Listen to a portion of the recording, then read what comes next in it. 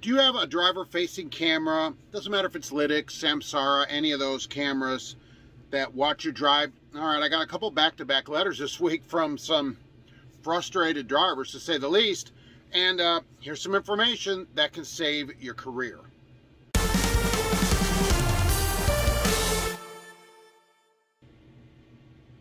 Hello and welcome to Trucking Answers. I'm Mark, your icy Wiper host.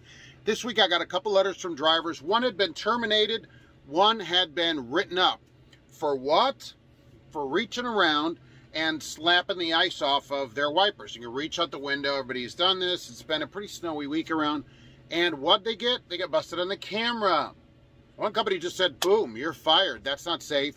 And another one is just writing them up. Regardless of that, something to consider when you have these cameras Apparently, do not knock the ice off of your wipers. Just leave it on there so that you can't see. Just the stupidest thing. These idiot companies and their stupid safety regulations, they won't give you what you need to clear the wipers, right? Which is heated wipers. But when you want to clear the wipers, you're fired because it's unsafe.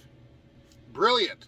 So what you know, what are you supposed to do? Stop on the side of the road? That's what I always say. Or drive when you can't see. I mean, there's no good solution to this other than a heated wiper, and the companies don't want to do that. They just would rather fire you. Either way, either way, this is a quick tip for this week, right, that I just heard from drivers, and so this is happening.